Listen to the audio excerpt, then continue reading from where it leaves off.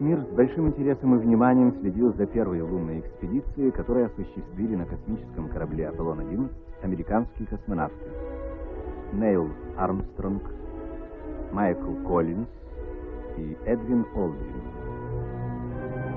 Об этом событии говорит лауреат Ленинской премии, академик Борис Николаевич Петров.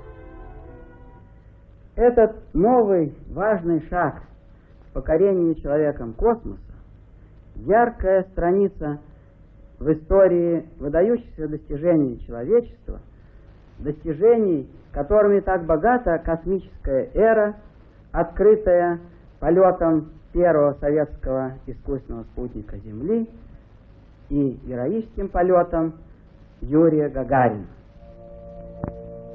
Вы видите уникальные съемки, переданные телевидением и полученные на Земле непосредственно с поверхности Луны.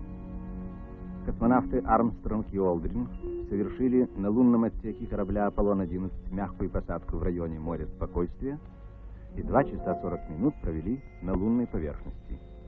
Астронавты успешно выполнили заданную программу работ.